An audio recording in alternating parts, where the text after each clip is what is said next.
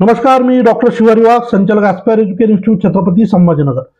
विद्यार्थी मित्रांनो महाराष्ट्र सिटी सेलच्या वतीनं जी इंजिनिअरिंगची प्रवेश प्रक्रिया राबवली जाते या पहिल्या कॅप राऊंडसाठीची चॉईस फिलिंगची डेट काल अकरा ऑगस्ट होती ती ऑलरेडी संपलेली आहे. आणि आता येणाऱ्या चौदा तारखेला अलॉटमेंट जे आहे ती पब्लिश होणार आहे.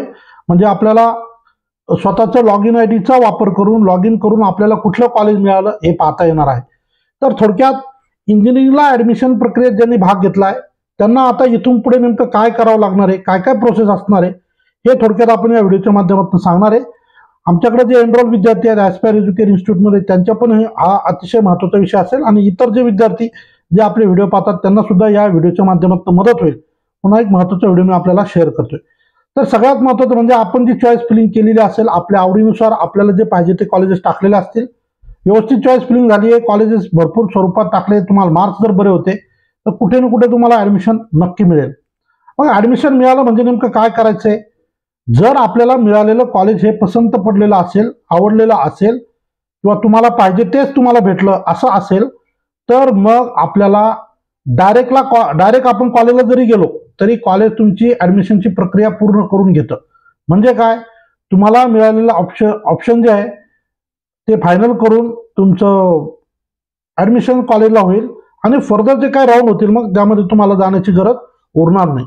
हा झाला पहिला भाग की ज्यांना कॉलेज मिळालं ज्यांना ते पसंत पडलं आणि त्यांना ते फायनल करायचे त्या सगळ्या विद्यार्थ्यांच्या बाबतीत.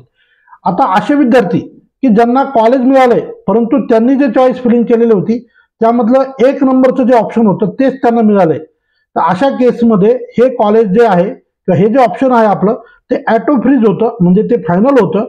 त्यानंतर तुम्हाला कुठेही पुढच्या राऊंडमध्ये भाग घेता येत नाही. ते जर पहिलं ऑप्शन तुमचं ॲटो फ्रीज झालं तर तुम्हाला त्याच कॉलेजला जाऊन ॲडमिशन घ्यावं लागतं. फर्दर राऊंडमध्ये तुम्ही जाऊ शकत नाही. आणि जर तुम्ही त्या कॉलेज जाऊन ॲडमिशन घेतलं नाही तर तुम्ही पुढच्या सगळ्या ॲडमिशन प्रक्रियेतून सुद्धा बाद होतात. म्हणून ज्या मुलांना चॉईस फिलिंग केलेल्या लिस्टमध्ये पहिलं जे ऑप्शन होतं तेच जर मिळालं असेल तर मग ते कॉलेज तुम्हाला फायनल राहील आणि ते तुम्हाला घ्यावंच लागेल.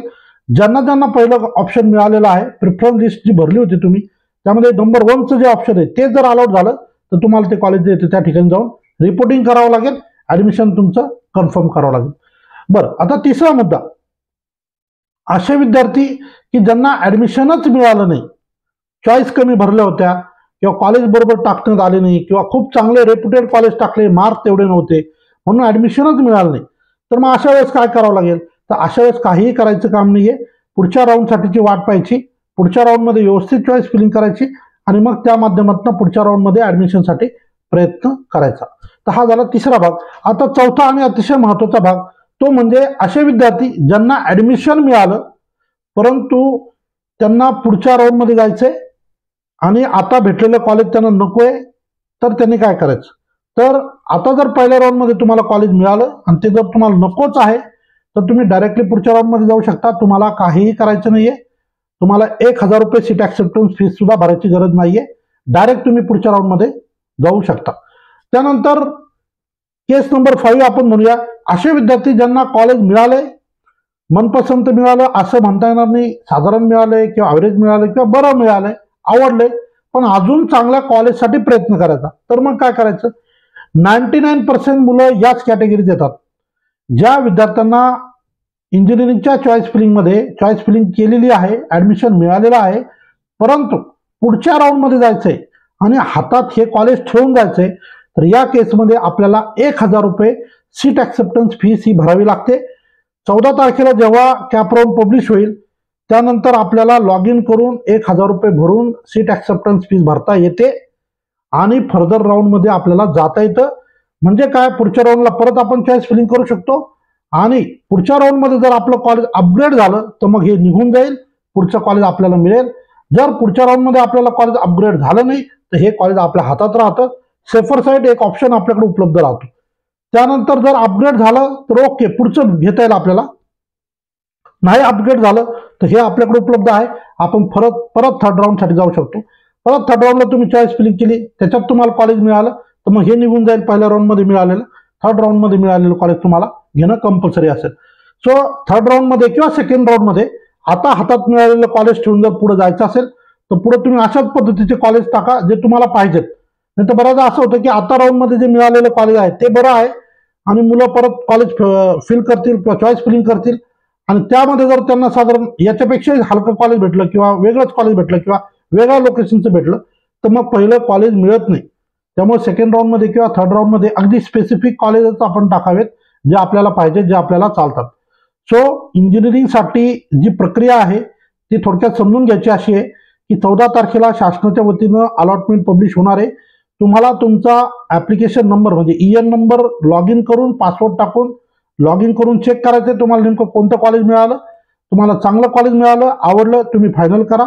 तुम्हाला चांगलं कॉलेज मिळालं तरीही तुम्हाला पुढच्या राऊंडमध्ये जायचं. तर एक हजार रुपये सीट ॲक्सेप्टन्स फीज भरून तुम्हाला बेटरमेंट करता येईल. बेटरमेंटच्या ऑप्शनमध्ये तुम्हाला फर्दर राऊंडमध्ये जाण्याची मुभा आहे. तुम्ही फ्रीज केलं तर तुमचं कॉलेज ते फायनल होतं. त्यामुळं बेटरमेंट करता किंवा फीज फ्रीज करता हे जे ऑप्शन्स असतात हे सुद्धा आपल्याला निवडताना काळजी घ्यायची आहे. जर आपण फ्रीज केलं तरी एक हजार रुपये भरायचे आहेत आपल्याला. बेटरमेंट केलं तरी एक हजार भरायचे आहे. या कॉलेजला आत्ता पहिल्या राऊंडमध्ये आपण बेटरमेंट करून सेकंड राऊंडला गेलो. तुमचं कॉलेज बदललं. तर परत बेटरमेंटसाठी फीस भरावी लागते का? तर नाही. ही फीस एकदाच भरावी लागते जी आपण पहिल्या राऊंडला भरली परत पुढच्या राऊंडमध्ये भरायची गरज नाही. सो खूप महत्त्वाचा विषय होता की बाबा आता चौदा तारखेला अलॉटमेंट आली तर नेमकं काय करायचं? थोडक्यात ज्यांना ऍडमिशन मिळालं त्यांनी बेटरमेंट करू शकतात. ज्यांना ऍडमिशन मिळालंच नाही ते पुढच्या राऊंडमध्ये परत एकदा जास्त कॉलेज टाकून प्रयत्न करू शकतात. ज्यांना ऍडमिशन मिळालं पसंत पडलेलं आहे ते सोळा ऑगस्टपासून अठरा ऑगस्टच्या दरम्यान संबंधित कॉलेजला जाऊन रिसर फीज भरून ओरिजिनल डॉक्युमेंट देऊन आपलं ऍडमिशन कन्फर्म करू शकतात. म्हणजे चौदा तारखेला लिस्ट लागली. तर पंधरा ऑगस्टची सुट्टी आहे. तर सोळा तारखेपासून अठरा तारखेपर्यंत आपल्याला त्या ठिकाणी जाऊन ऍडमिशन सुद्धा घेता येईल. सो हा एक महत्त्वाचा विषय. त्यानंतर फर्दर राऊंडचं मी तुम्हाला सांगितलेलंच होतं. शॉर्टमध्ये उल्लेख करतो. एकोणावीस ऑगस्टला परत ती दुसऱ्या राऊंडची व्हॅकन्सी पोझिशन येईल. वीस ऑगस्टपासून बावीस ऑगस्टपर्यंत चॉईस फिलिंग होईल. सव्वीस ऑगस्टला पुढचा राऊंड सुद्धा जाहीर होईल. आणि त्यानंतर पुढचा राऊंड म्हटलं म्हणजे सव्वीस ऑगस्टला ज्यांना ऍडमिशन मिळेल बेटरमेंटच्या माध्यमातून म्हणा किंवा पहिल्या राऊंडला मिळालं नव्हतं आता सेकंड राऊंडला मिळालं म्हणा जे पण असेल या मुलांना सत्तावीस तारखेपासून एकोणतीस तारखेपर्यंत ऍडमिशन घेता येईल. त्यानंतरचा तिसरा राऊंड तीस ऑगस्टला व्हॅकन्सी पोझिशन येईल. एकतीस ऑगस्टपासून दोन तारखेपर्यंत चॉईस फिलिंग होईल. पाच सप्टेंबरला या मुलांचं अलोकेशन होईल म्हणजे सीट अलॉटमेंट होईल. आणि या मुलांना सहा तारखेपासून नऊ तारखेपर्यंत सप्टेंबरमध्ये सहा सहा सप्टेंबर ते नऊ सप्टेंबर या दरम्यानच्या कालावधीमध्ये रितसर जाऊन ऍडमिशन घेता येईल. यानंतर ज्या सीट्स वेकंट राहतील त्याचं कॉलेज लेवलला ते राऊंड होतील. त्याची रितसर जाहिरात त्या त्या कॉलेजकडनं पब्लिश केली जाईल. दहा ऑगस्टपासून दहा सप्टेंबरपासून तेरा सप्टेंबरपर्यंत ही प्रक्रिया राबवली जाईल. आणि तेरा तारखेला तेरा सप्टेंबर ही या वर्षीची ॲडमिशनची कट ऑफ डेट असेल. ठीक आहे. तर ह्या अशा पद्धतीनं जे तर हे अतिशय कट टू कट असलेलं शेड्यूल आहे. बिलकुल महाराष्ट्रभरातील सगळे इंजिनिअरिंगचे ॲडमिशन अगदी महिन्याभरात कंप्लीट होतील अशा पद्धतीचं हे शेड्यूल आहे. आज बारा ऑगस्ट आहे. पुढच्या महिन्याच्या तेरा सप्टेंबरला प्रवेश प्रक्रिया ही संपलेली असेल. तो एक महत्त्वाचा विषय होता कारण काल चॉईस फिलिंग संपलेली आहे. अनेक विद्यार्थी व पालकांनी चॉईस फिलिंग केलेली असेल. आता त्यांचा त्यांची वाट पाहणं चालू आहे की आपल्याला नेमकं कोणतं कॉलेज मिळतं? त्याहीपेक्षा जास्त कॉलेज मिळाल्यानंतर पुढे काय करायचं? तर हे सगळं मी या व्हिडिओच्या माध्यमातून सांगितलं. व्हिडिओ आपल्याला आवडला असल्यास व्हिडिओला लाईक करा. पहिल्यांदा जर आपण चॅनल बघत असाल तर चॅनलला सबस्क्राईब करा आणि हा व्हिडिओ इतर गरजू मुलांना नक्की शेअर करा. या ठिकाणी थांबतो. धन्यवाद.